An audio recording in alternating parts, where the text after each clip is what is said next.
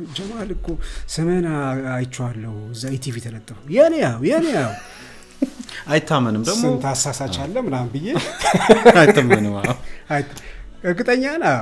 ተነስቼ ሲሄድ ተለጥፏል። አስራ ምናምን ሰዎች አሁን ይህን አባባለ ሰላም በቃ በሰላም በሰላም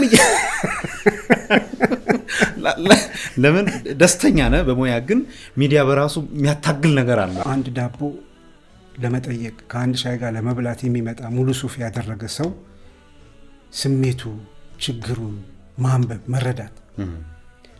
እንደገና ደግሞ ሌሊት አንኳኩቶ በር መጀመሪያ ሲከፍት ከሆነ አካባቢ ወይ ካልሲና ወይ ፓንት ሰርቆ መጥቶ ይህንን እንትን አስይዤ ሻይ ቁርስ ልብላ የሚል ሰው። በጣም የሚገርም እኮ ህይወት ነው የምታይበት። መጀመሪያ ጊዜ ድምፅህ ወይም በምስል ስትታይ የነበረህን ነገር እንድታነሳ ፈልጋል። ጠዋት ያልኩ ስመጣ ና አለኛ ሁለተኛ እንዳታነብ ዜና አለ። ምን ተፈጠረ ደግሞ?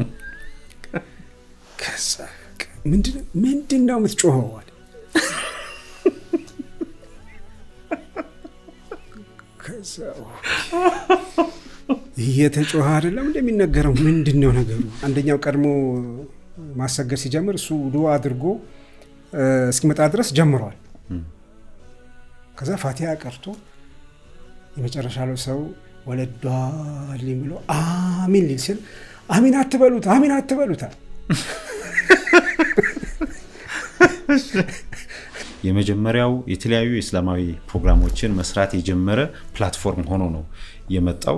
ከዚህ ጋር እንግዲህ ስምህ ተያይዞ ይነሳል እና እስካሁን ያሉ ሚዲያዎች ደግሞ መነሻ የሆነውም የእናንተ ጥንስሱን መጀመራችሁ ነው። እውነቱን ለመናገር እንደው ለራሴ በቀንም በሳምንትም የተወሰነ ቀን የተወሰነ ሰዓት እረፍት እሰጣለሁ እንጂ ባለፉት ሀያ ዓመታት የእረፍት ጊዜ ብዬ አንድ ሳምንት ሁለት ቀን ሁለት ሳምንት ከስራ ራሴን አርቄ እረፍት ብዬ የተቀመጥኩበት ጊዜ የለም ነው።